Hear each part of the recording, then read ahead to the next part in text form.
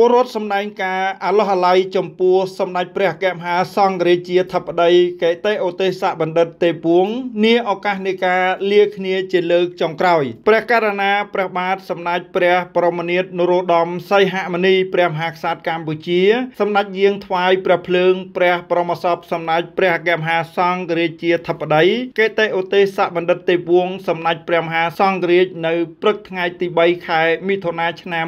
2024នេះក្បួនដង្ហែព្រះបរមសពសម្ដេចព្រះសង្ឃរាជាទេវង្សបានចាប់ផ្ដើមចេញដំណើរពីវត្តអណាឡោមហើយទៅតាមបណ្ដោយមហាវិថីព្រះស៊ីសវត្តទៅវត្តភ្នំ បន្តតាមបណ្ដោយមហាវិថីព្រះនរោត្តមឆ្ពោះមកកាន់វិមានឯករាជ្យនិងបន្តទៅកាន់ព្រះមេរុនៅមុខវត្តបតុមបតីដើម្បីធ្វើពិធីថ្វាយព្រះភ្លើងពិធីនេះប្រព្រឹត្តទៅដោយមានការយាងនិមន្តអញ្ជើញចូលរួមពីសំណាក់គណៈសង្ឃនាយកកម្ពុជាព្រះថេរានុថេរៈគ្រប់ព្រះអង្គសម្ដេចព្រះប្រធានព្រឹទ្ធសភាសម្ដេចប្រធានរដ្ឋសភាសម្ដេចធិបតីនាយករដ្ឋមន្ត្រីព្រមទាំងថ្នាក់ដឹកនាំមន្ត្រីរាជការភ្ញៀវជាតិអន្តរជាតិជាច្រើនអង្គអ្នកនៅមុខវត្តបទុមវតីរាជវរាមសម្ដេចព្រះសង្ឃរាជាទេពវង្សបានចូលព្រះទីមង្គតនៅវេលាម៉ោង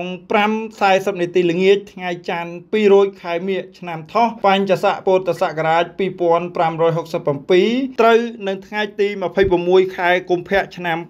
2024នៅវត្តអណាឡោមក្នុងព្រះជន្មាយុ93ព្រះវស្សាដោយព្រះជរាពាធក្រោយនោះមួយថ្ងៃរាជរដ្ឋាភិបាលក៏បានចេញសារចរណែនាំស្ដីពីការចូលរួមគោរពព្រះវិញ្ញាណក្ខន្ធព្រះសពសម្ដេចព្រះសង្ឃរាជាទេពវង្សដោយក្នុងនោះជាថ្ងៃកាន់ទុកជាផ្លូវការគ្រប់ក្រសួងស្ថាប័នសាលារៀនមន្ទីរពេទ្យរបស់រដ្ឋឯកជនទាំងអស់និងមន្ត្រីរាជការកងកម្លាំងប្រដាប់អាវុធគ្រប់ប្រភេទគ្រប់ទីវត្តអារាមព្រមទាំងប្រជាពលរដ្ឋទូទាំងប្រទេសត្រូវបង្ហូតទង់ត្រឹមពាក់កណ្ដាលនៃដងទង់ជាតិនៅថ្ងៃទី27ខែកុម្ភៈឆ្នាំ2024គួររំលឹកផងដែរថា ក្នុងឱកាសតម្កល់ព្រះបរមសព3ខែកន្លងទៅ មានការយាងនិមន្តនិងអញ្ជើញមកគោរពថ្វាយព្រះវិញ្ញាណក្ខន្ធព្រះបរមសពសម្ដេចព្រះសង្ឃរាជាទេវវង្សពីព្រះមន្ត្រីសង្ឃគ្រប់ឋានានុក្រមថ្នាក់ដឹកនាំប្រទេសគ្រប់លំដាប់ថ្នាក់និងមន្ត្រីសង្ឃជាន់ខ្ពស់អន្តរជាតិនិងមន្ត្រីទូតបរទេសប្រចាំកម្ពុជាផងដែរ Land Rover នាំចូលនឹងចែកចាយផ្ដាច់មុខដោយក្រុមហ៊ុន RMA Cambodia